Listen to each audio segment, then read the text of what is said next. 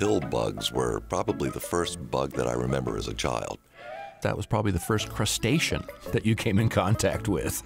Pill bugs and sow bugs, people know them as roly polies. They're actually crustaceans. They're more closely related to lobsters and crabs and crawfish. They don't have six legs, so they're not an insect. They don't have eight legs, so they're not an arachnid. They have 14 legs. Pick one up. They can't hurt you. I'll let them walk on your hand and count the number of legs that they have. They are terrestrial crustaceans, and the most common ones that we have are European species, inadvertently introduced with soils containing plants.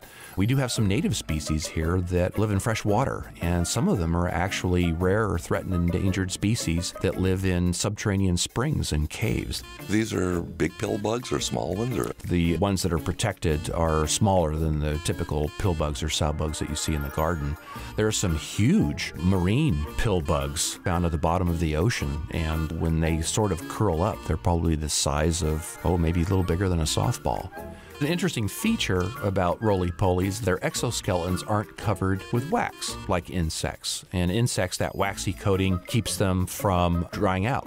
Well, in the case of roly polies, they lack that protective layer of wax and they can become dehydrated very easily, which is why they live in very moist habitats.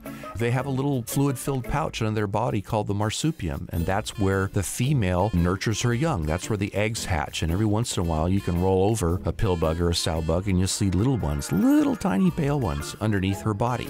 Because they don't have that waxy coating, they also can drown very easily. So when we have heavy rains, oftentimes you'll see them walking up walls and fence posts and that kind of thing. They're walking on the edge. They're trying to live in places where they don't dry out or drown. Brilliant.